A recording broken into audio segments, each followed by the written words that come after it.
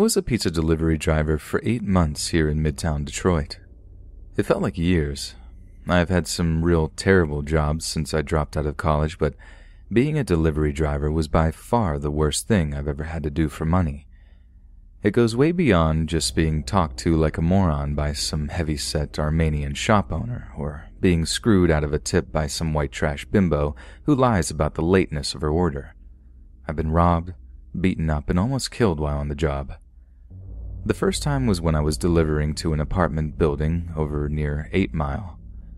I had just gotten out of my car and was grabbing the pies from the back seat when I saw this group of teenagers approaching my car. They start making jokes about how beat up my old Taurus was, and I'd be lying if I said they had no grounds to. That thing was a complete rust box. They're talking trash, I'm giving as good as I get, and it seems like it's just a bit of fun. That's when I feel one of their hands in my pockets, trying to grab the folded stack of dollar bills I use for change. I'm mad, but when I turn, one of the kids has this huge knife out, telling me to hand over the cash. I just kind of reacted. I hurled the only thing I had available to me right at the knife wielder. Now, I didn't expect this, but as I throw the pizza box, the thing just sort of falls apart in midair, freeing the pie up to land right on the kid's face. I always knew our shop had a reputation for delivering piping hot pizza.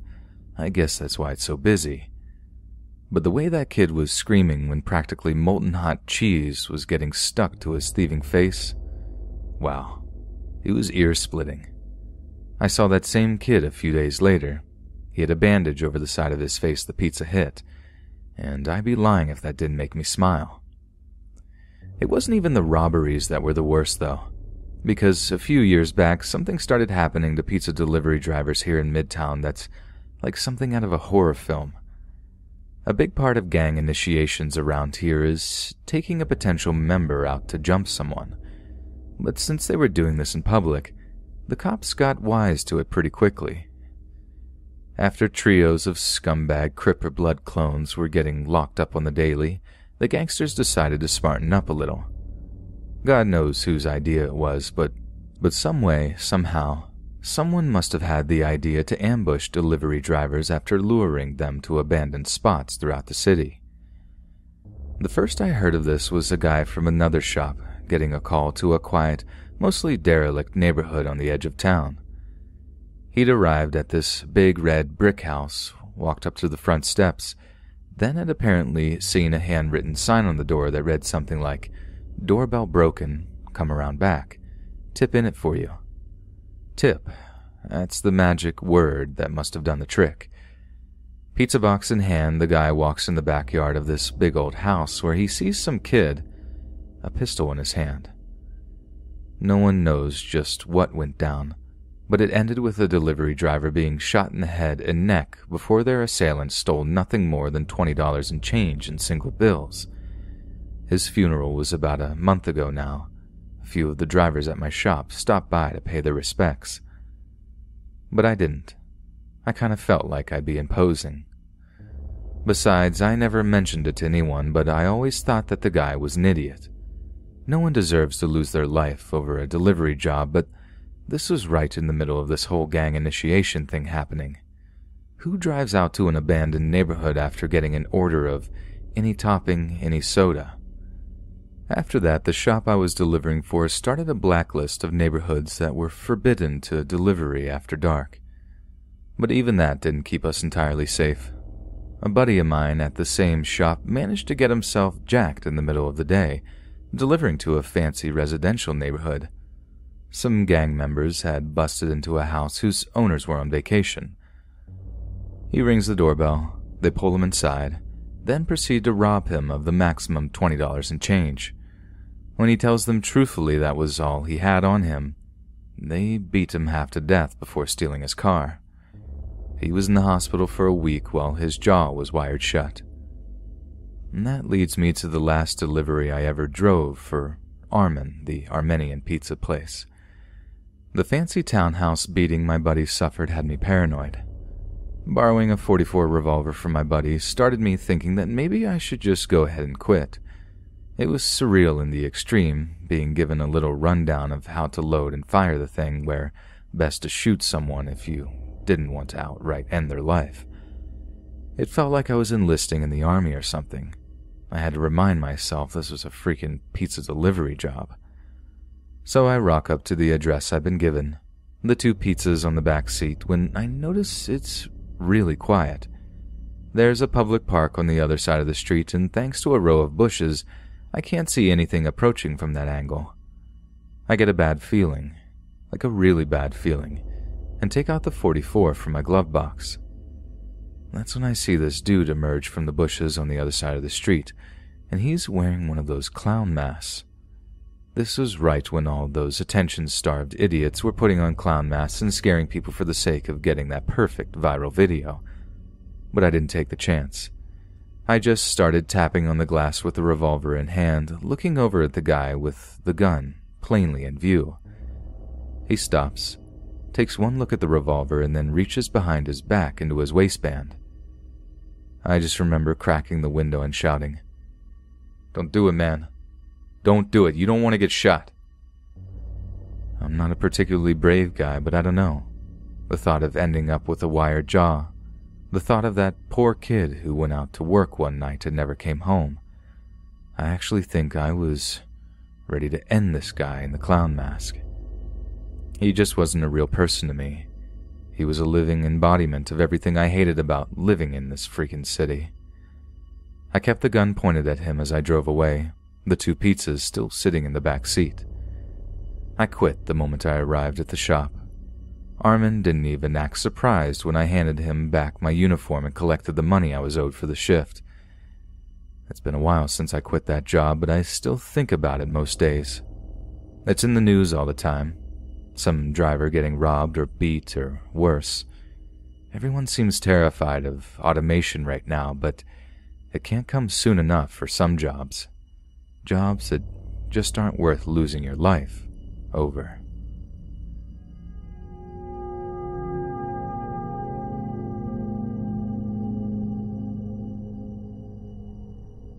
I've had a few delivery jobs that have given me the creeps, one or two that I was pretty sure I was about to be robbed. Another was a gunfight between gang members unfolding in the street I was delivering to, right as I was turning onto it. But these are just occupational hazards. Yeah, it sucks, but I guess you do get over them. Only one delivery job really, truly terrified me. The only one that scares me to think about even today. So we get an order from an address that none of us drivers had ever delivered to before. This normally causes some suspicion among us since we're always pretty wary whenever delivering to a new address. A fair few first time deliveries have resulted in an address getting blacklisted. Sometimes they try to stiff you for money or some other scam to get free pizza. Generally speaking, the drivers take turns delivering to a new address, and this time it just so happened to be my turn. So once the order is completed and the pizzas are boxed up, I take them out to my car and punch the address into my sat nav. It turns out the address is right on the edge of our delivery area, pretty much in the middle of absolute nowhere. It dawns on me that this could be the oldest trick in the book. Call the pizza into some hard to reach location, then demand it to be free once it takes more than 45 minutes to deliver. But, to my relief, I make it out onto this old dirt road with time to spare. Yet my relief doesn't last long. Not when I see the state of the address I'm delivering to. The house is so run down it looks like a squat, like it's been commandeered by the homeless as a place to avoid sleeping rough. There's a musty old pickup in the driveway, its wheels all askew from years of misuse. I mean, the place was just the very definition of haunted house. Needless to say, I wasn't expecting a particularly generous tip.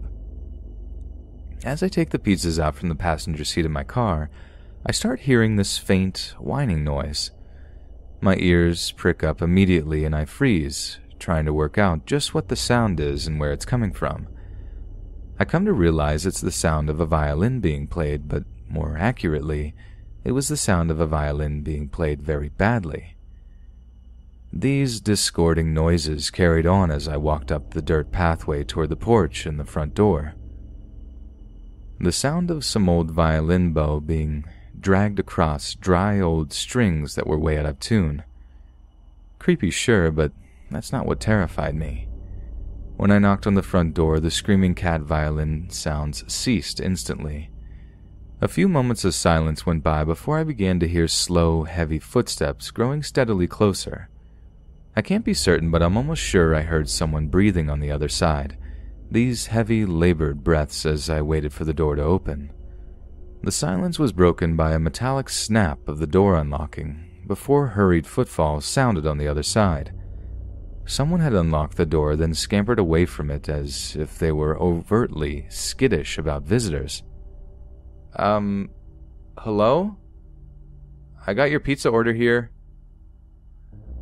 I remember asking, feeling the tension rise as silence once again engulfed the scene. Uh, come inside, mister. A childish voice came from the other side.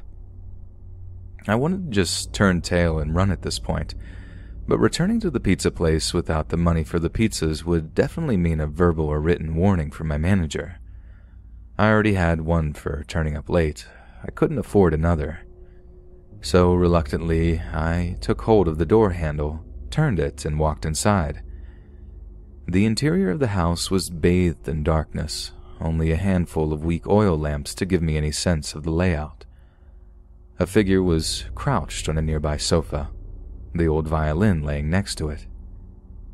There's fifteen on the table there, mister, the person sounded like a child, but they looked bigger than they should have. On the small, dusty coffee table in front of the couch, there's a pile of change in little piles. Normally, I'd have taken issue with this, but to be honest, I was desperate to get out of there at that point. I'd have taken any form of currency.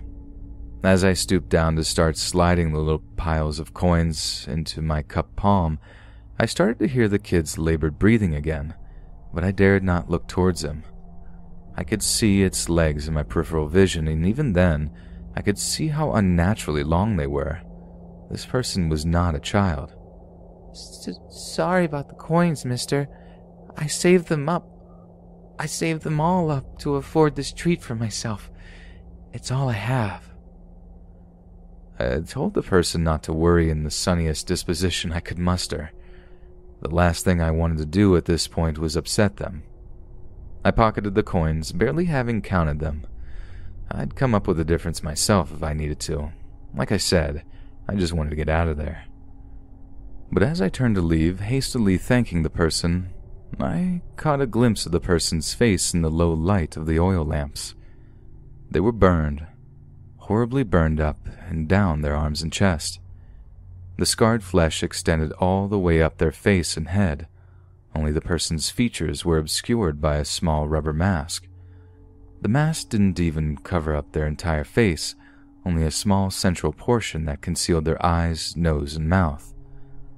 The only thing I could really make out was that the mask had a long wooden nose, kind of like the puppet Pinocchio, whose nose would grow whenever he told lies. The small carved eyes were blank, I averted my gaze from the mask and was unable to return it. It was one of the most hideously sad and scary things I'd ever laid eyes on. Just as I had reached the front door, I heard that same childlike voice emanating behind me. Want to hear me play a song, mister? Before I even had the chance to answer to tell them I was too busy with deliveries to hang out, they had grabbed the old violin next to them and began to whine out of tune. Although the strings were almost totally out of tune, I started to make out the tune they were trying for. You know the one. If you go down in the woods today, you're sure of a big surprise. If you go down in the woods today, you better go in disguise. For every bear that ever there was will gather there for certain because today's the day the teddy bears have their picnic. I was in the back of the driver's seat of my car before you could say, Nope, I'm out, scrambling to start the engine so I could make a quick getaway. I don't think they had any intention of hurting me. I certainly wasn't as in much danger as when those idiot Crip and Blood wannabes decided to shoot it out like right in front of my car. but something about that place still creeps back into my mind while I lay there in darkness trying to sleep. Something that means I'll never, ever make another delivery there. I'll quit before I go back.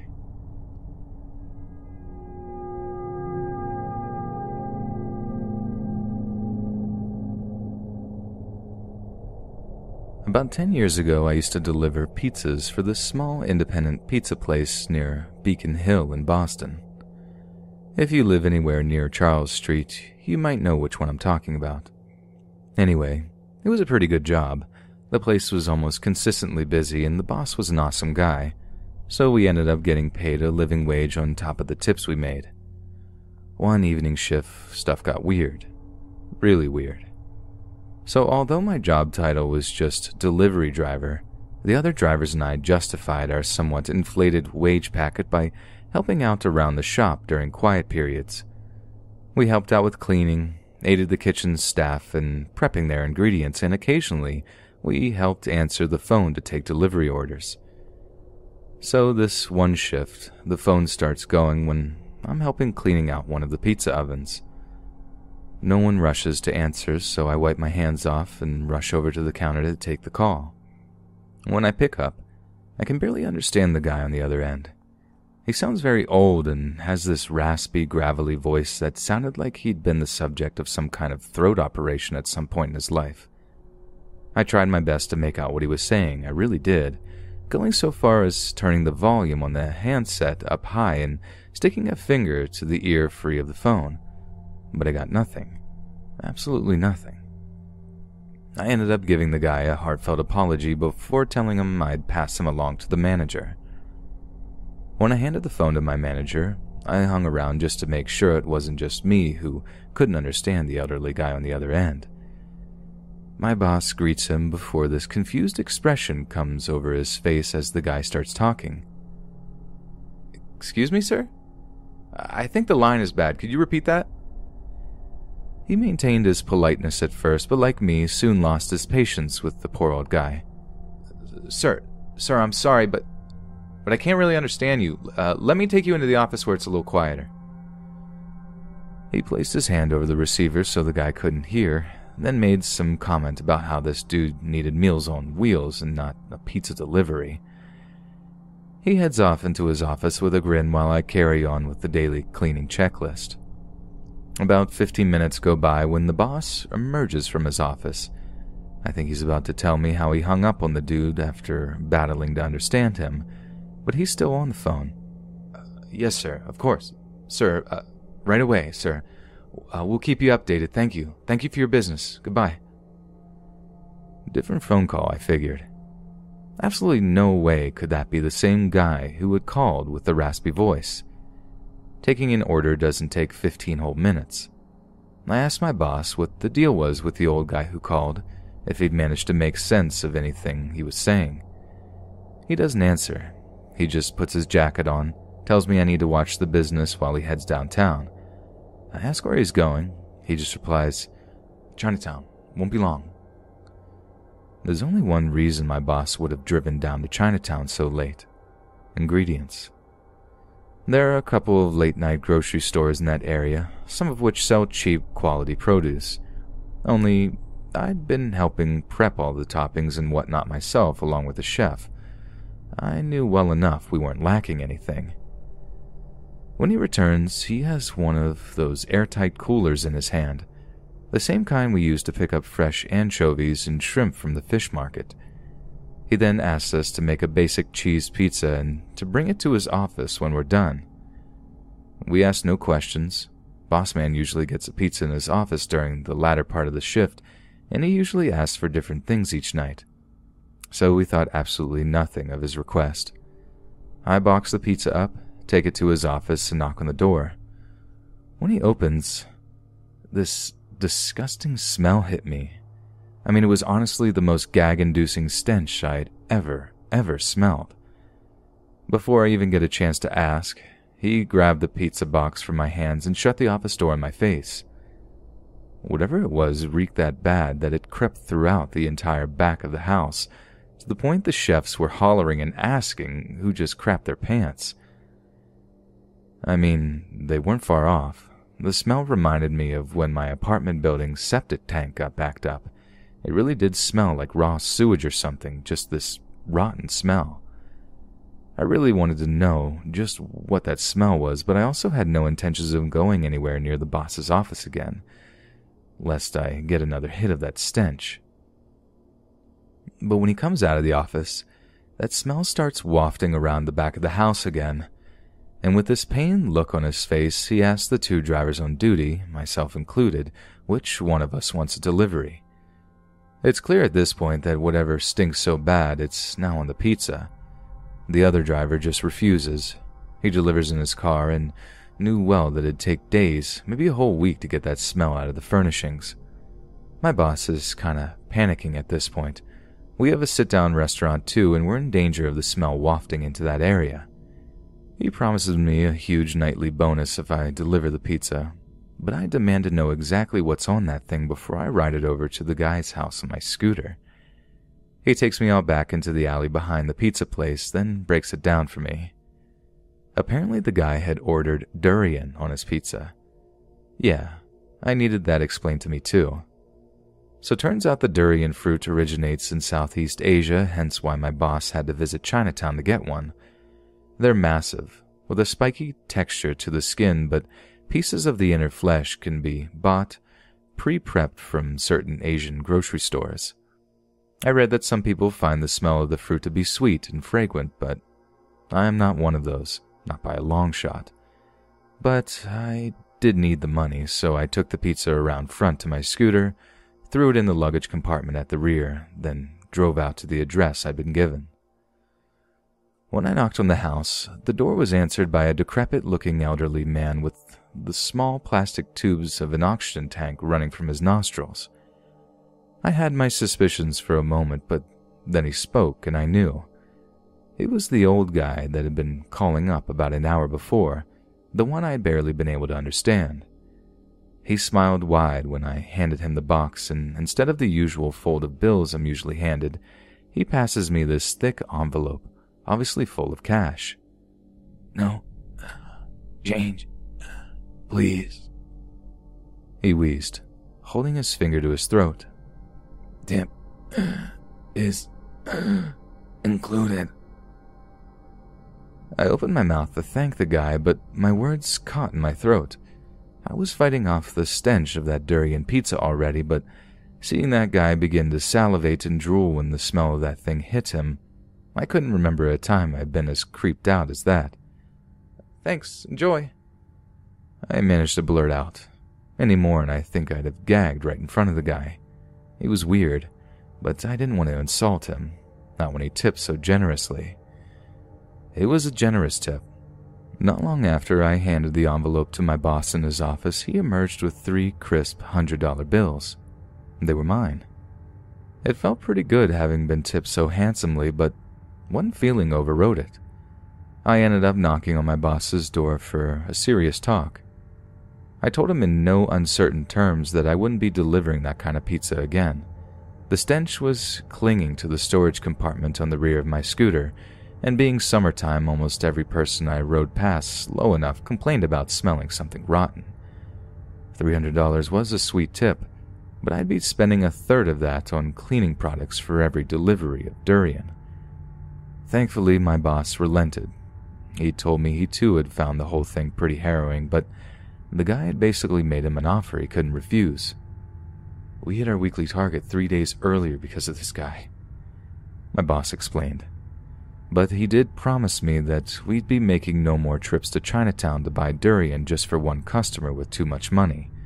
So nothing more was said about it, and we received no more calls from the guy. That was until about three months later. It was pretty much the same setup as the night he originally called slow business, helping out with cleaning tasks and food prep when the phone goes again. I answer, only to hear the familiar raspy voice on the other end. I instantly knew who it was. This time, without listening to so much of a word he said, I just politely informed him that I'd be handing him over to the manager and thanked him for his patience. Knocking on the boss man's door, I hold my hand over the phone's receiver and whisper the words, Hey, It's Durian guy. At my boss, who in turn rolls his eyes and nods as if to say, I'll handle it. I walk back to my cleaning task with a grin, thanking all that is holy that I wouldn't have to drive halfway across Boston smelling like a porta potty. Only you can see where this goes, right? Boss man comes out of his office with a pained look on his face, giving it the old, uh, yes, sir. No, no, sir. Right away, sir. Routine again. My stomach drops. I know what's coming. I remember shaking my head before he'd even asked, just listing off a thousand ways of saying no, cutting him off from even asking the question. No, no way, nope, no chance. Nuh-uh, not today. I ain't the one. He doubled the amount. My boss replied, What am I supposed to do? I couldn't believe it. If what he said was true, I'd be getting a $600 tip from this guy. 600 bucks. That was just over my monthly rent costs with about 20 minutes of work. I'd be covering like three quarters of my living costs. Boss man had a point. Just what were we supposed to do? So, yet again, Boss Man drives down to the late night grocery store over in Boston's Chinatown to pick up this mystery durian fruit that I've been reading so much about. While I waited, I grabbed a fistful of the air fresheners we normally handle in the bathroom and started to pretty much decorate the rear of my scooter with them. I also took a full can of Febreze with me from our cleaning supplies, planning on spraying it tactically whenever I came to a red light. Last time an open topped convertible caught the smell of the durian on the breeze, the girl passenger almost puked right into her footwell. I actually start prepping the whole affair myself, too, getting the pizza base ready, opening up the back door, and turning up the kitchen's extractor fans way high to maximize the chances of the stench wafting through the store again. But this time, when I get to the delivery address, curiosity got the better of me. I had to peek at this guy's pizza, if only to see what durian looked like. This was in the street like a block away from the address, nice open space, so I didn't expect the smell to be as intensely bad.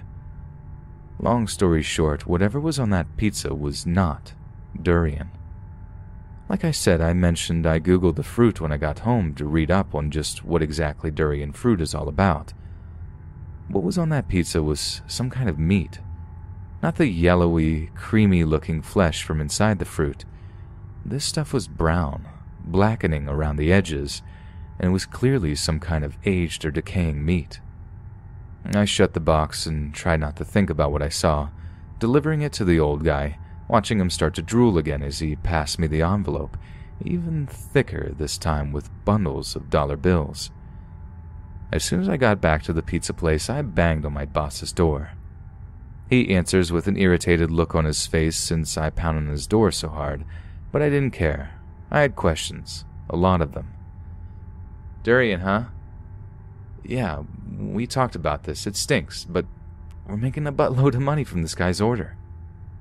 I looked at the pizza. My boss didn't say anything.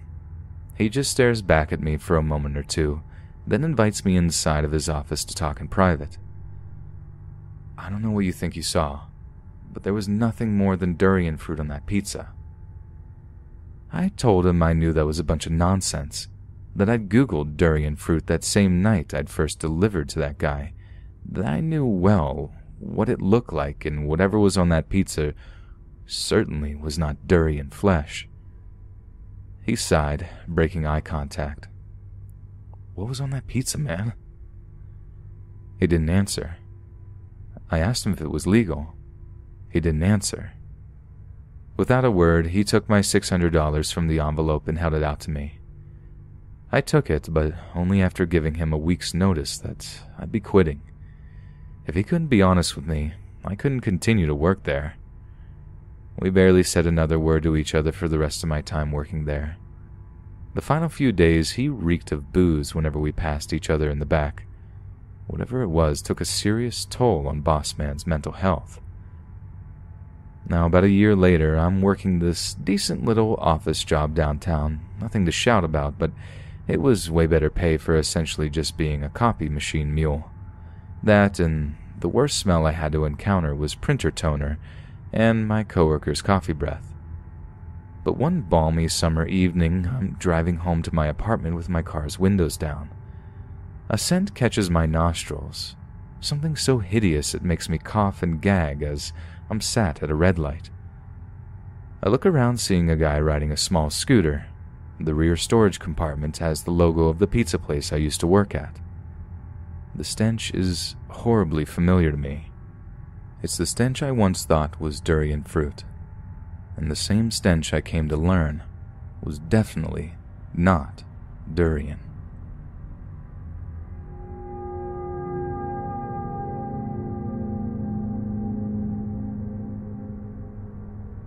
I took a gap year before I started university, and I would highly recommend one to all those who have doubts over higher education, or are second guessing their choice, of course.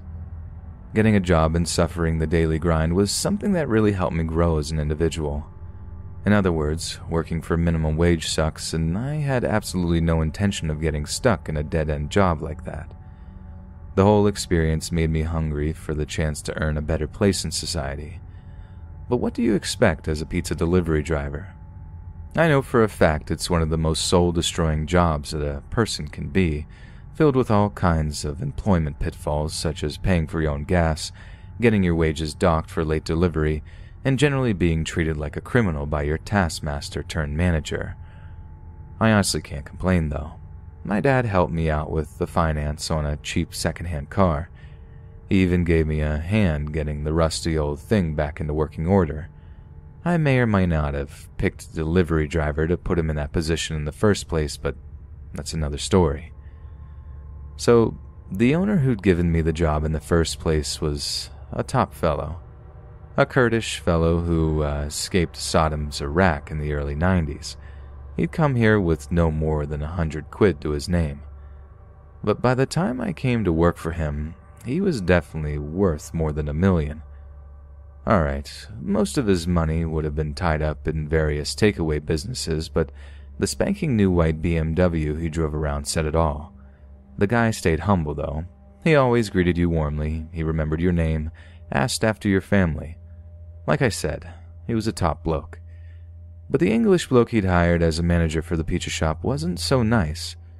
In fact, I go so far as to say he was a complete wanker. Good at his job, don't get me wrong. The place ran like clockwork. But the man had next to no social skills and really rubbed the staff up the wrong way sometimes. Like this one time when he found out that one of the drivers had been losing pizzas. He did a little investigating and found out he was losing these pizzas to the exact same address over and over again. He'd come up with a different story every time. He dropped the box, some teenagers stole the pizza, whatever it was but it turned out he'd just been dropping them off at a mate's house. Proper scummy behavior. Anyway, he gets the sack, but it was us, the drivers that remained, that really bore the brunt of it. He instituted a policy whereby anyone who failed to deliver or lost their orders would have the sale amount docked from their wages. Not the cost to the business, but the sale amount, so considerably more than the sum of any pizza's parts. We were mad, but I don't know, it was understandable. The pizza thief had really let the side down, and it was hard not to sympathize with the owner who just wanted staff we could trust. So, this is how I ended up almost breaking into someone's house one night trying to deliver their pizza. I drove out to the delivery address in my beat up old Vauxhall, listening to the newly fitted engine purring like a dream. It was one of my last deliveries of the night, with cutoff time being 11 p.m so I had that kind of second wind excitement that comes with knowing you're off of work soon. Still singing along with the car radio, I pull up outside this old Victorian three story, grab the thermal bag from off of the passenger seat, then stroll up to the front door. This is about the time of night that tips get pretty big too. People can be very happy to receive hot food at this hour, especially when they've been partaking in a certain variety of tobacco, if you catch my drift. Anyway, I'm whistling away to myself, banging on the front door of this big old house. Banging, knocking, banging again. About a minute goes by, and it dawns on me that no one is answering. It must be some sort of mistake, I think to myself, and head back to the car to check the delivery notes to make sure I've got the right address. This is where the problem arises. I really can't tell if the person who's written the address has put down a 1 or a 7. This is one of the few things that Europeans really get right. They always whack a little line through the sevens to make sure they're recognizable. Who'd ever written this hadn't given me the same courtesy. I decided it had to be a 1. Thing about the UK is we don't really get those crazy long house numbers like people in the States do. Like the Simpsons live on 742 Evergreen Terrace. I have that memorized, fight me. Whereas in the UK, I'm not even sure we even have 742 roads in total. I jest, but you get the point. So, with me being 90% sure that this is the right house, but being 100% worried that I'm about to have 20 quid docked from my already meager wage packet, I set about trying to get this pizza delivered. I legged it back to the front door, hammered on it once more, just in case, then decided to take things a step further. I start shouting hello through the rectangular brass letterbox, but the only thing I hear in response is all this meowing from cats. Lots of cats. I also get this absolutely horrendous whiff of something truly disgusting, but lots of cats means lots of full litter boxes. Gross, but true. So the living room window is just a feet away from the front door, and there's this little crack in the curtain I figured I can peek through to see if anyone is actually home. You'd be surprised the amount of people that call for pizza when they're not even home, thinking they'll be fast enough to get home before it arrives. Newsflash, you aren't, and you suck. But when I peer through the crack in the window, I see something that I still see when I close my eyes sometimes. The room was dimly lit, only the flickering gray light of TV static illuminating the interior, so it took me a few seconds to realize what I was actually looking at. All I could see was this one couch teeming with felines.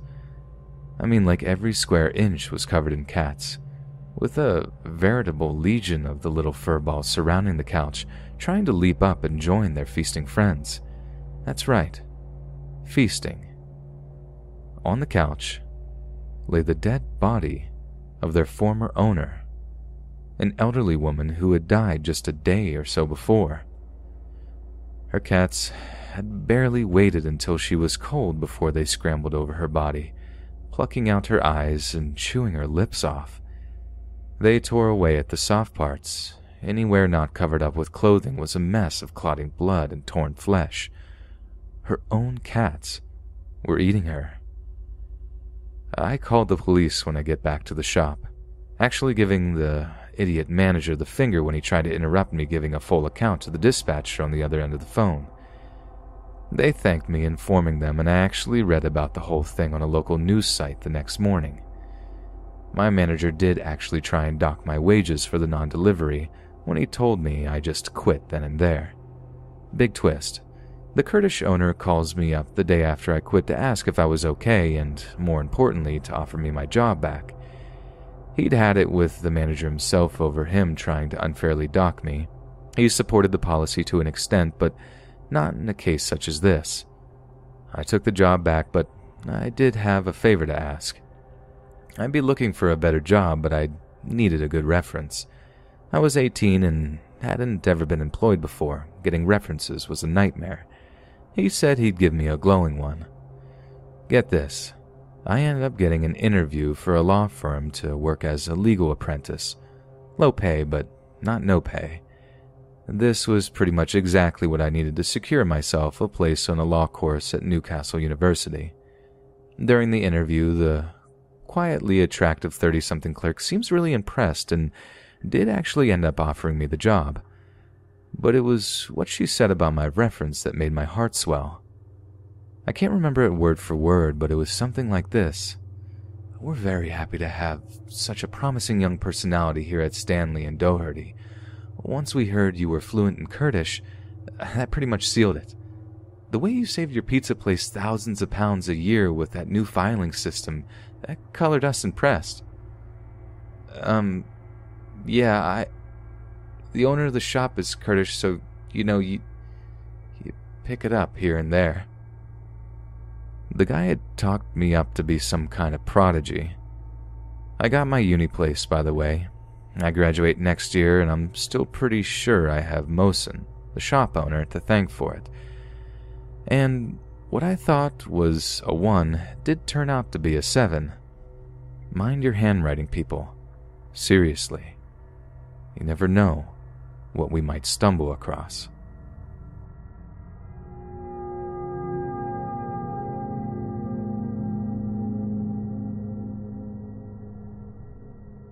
August 28, 2003. Brian Douglas Wells, a pizza delivery driver from Erie, Pennsylvania, begins his day like any other. Despite having worked as a delivery driver for coming up on 10 years, he hates the job. But as a high school dropout, he has few other options to pay rent. Just before 11 a.m., he drives over to Kearsarge Plaza, just a short walk from Lake Erie. This is where his place of work is located, a small pizza place known as Mamma Mia Pizzeria. He delivers pies during the lunch rush, returning to Mamma Mia's in time to receive one more delivery order in the afternoon. The order is two pizzas, to be delivered to 8631 Peach Street, an address a few miles from the pizzeria. Brian has never delivered to this address before, but he knows Peach Street well. It's home to a handful of car dealerships and a family owned landscaping service. Brian figures he'll be delivering to one of these. But what Brian doesn't know is that this is the last delivery he will ever make. When Brian arrives on Peach Street, he discovers the delivery address is down a dirt road, just near a BMW showroom. But at the end of the dusty, unpaved pathway is nothing but a radio tower. Brian gets out of his car, pizzas in hand, and looks around for the recipients. What happened next is unclear and has been the subject of years' worth of debate between professional law enforcement and amateur sleuths alike. But the most likely explanation is what follows. As Brian waited for his potential customers to appear, a group of masked people emerged from the nearby woods.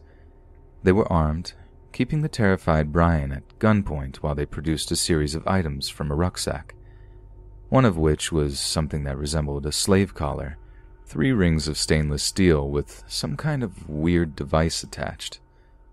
The masked individuals then attached the collar to Brian's neck, handed him a sophisticated homemade shotgun, as well as nine pages of handwritten notes. As the masked assailants fled the area, Brian began to read the instructions written on the pieces of paper he was given. They are addressed to Bomb Hostage, Brian realizes in utter horror that the device around his neck is a remotely detonated bomb collar. The notepaper in his hand details a series of strictly timed tasks involving collecting keys that will delay the detonation of the bomb collar locked around his neck. When he finds the final key, he will be able to defuse the bomb. The notes are also warning Brian Wells that he would be under constant surveillance and scrutiny that any attempt to contact emergency services or to remove the bomb collar would result in instant detonation and therefore his own death. Scrawled on the bottom of the handwritten instructions was a terrifying warning Act now, think later, or you will die. It must have been a living nightmare, a hellishly surreal ordeal. What happened to Brian Wells that day is something that most of us have never even experienced in our nightmares. But for Brian, it was a brutal, mind bending reality. The first task Brian was given by his masked captors was to calmly and quietly enter the PNC Bank branch on the very same street he found himself on. He was to hand the teller a pre written note included in his bundle of notes. Upon inspection, he saw it was a demand for a quarter of a million dollars in cash. The note instructed him to use his homemade shotgun to threaten and intimidate anyone who refused to cooperate. Brian had no choice. He entered the bank branch around 2:30 that afternoon, following the instructions to the letter as he handed the teller the demand note. The teller's face must have turned white as a sheet. The note also stated that Brian's bomb collar would explode if the full cash amount was not handed over. Unable to access the bank's vault in such a short period of time, the teller gave Brian Wells a bag of cash amounting to just short of $9,000. Brian departed the bank as quickly as he'd entered, hurrying back to his car to continue his tasks.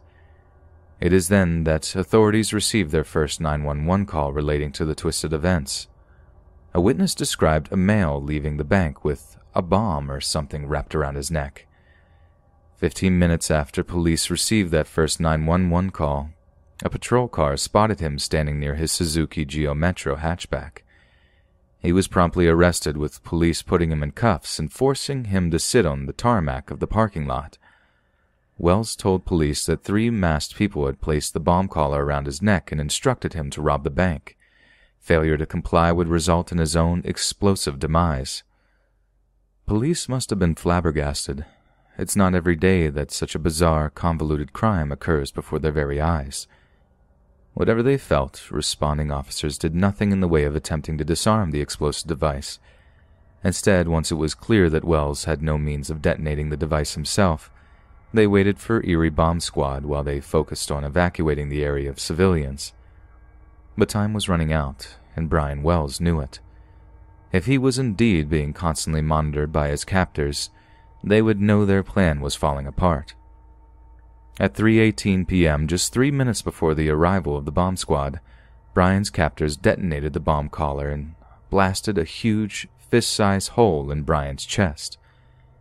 There he lay, disoriented and bleeding to death, until finally his life slipped away from him. The horrifying event was actually captured on camera by local news crews, but thanks to a technical fault at a local TV station, Brian's death was never actually televised. However, thanks to a leak somewhere between the local station, WJET TV, and the FBI, the video somehow found its way onto numerous video sharing websites and at present is actually still available to watch. Perhaps most disturbingly, police investigators later traveled the route given to Wells on the notepaper and discovered they could not complete it given the allotted time. Essentially, however successful Brian would have completed his given tasks, his captors were always planning to detonate the bomb collar to silence the only man capable of identifying them. When the truth surrounding the incident finally came out, the world reeled in horror at the greed and malice of the perpetrators. The plot was hatched by a woman by the name of Marjorie Diehl Armstrong, a college educated woman with a master's degree from Gannon College, PA.